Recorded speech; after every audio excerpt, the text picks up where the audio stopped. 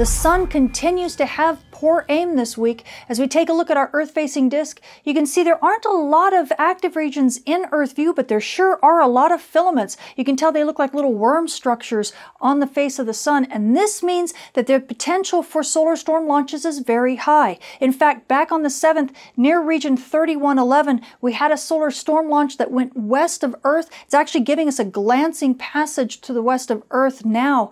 And then if we fast forward to uh, the 8th and then the 9th and 10th, right around in that region, down in the south, you can see several solar storm launches from a filament uh, region. And this is giving uh, a set of solar storms that are launching that are going to the east of Earth and are going to give us a glancing blow in and around the 14th. And then as we begin to move into the 11th, you can see region 3112 really begins to light up and fire off some big M-class flares. And this gave us a little bit of radio blackouts, reasonably short radio blackouts, but it also launched yet another solar storm.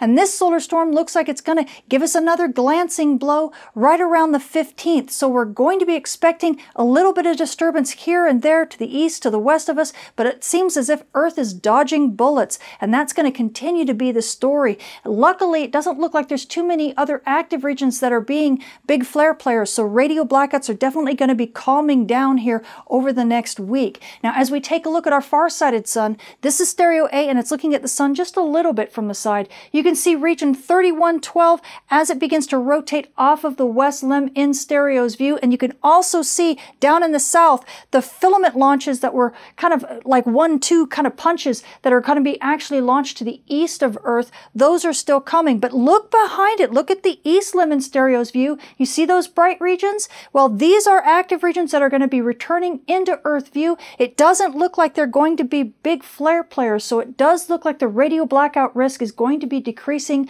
easily over this next week, but luckily it means solar flux will remain high, and that means good radio propagation on Earth's day side.